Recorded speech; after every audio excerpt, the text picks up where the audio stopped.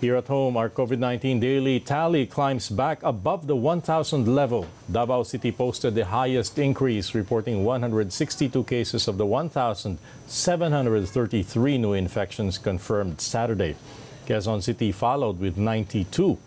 17 new deaths and more than 130 new recoveries were also reported. Worldwide, confirmed cases of the new coronavirus is nearing 66 million, more than 1.5 million of whom have died. In related news, the Philippines is ready to spend as much as 73 billion pesos to vaccinate around 60 million Filipinos against COVID-19. Budget Chief Wendel Avisado says the country has 10 billion pesos in standby funds for vaccine procurement under the Bayanihan We Recover as One Act.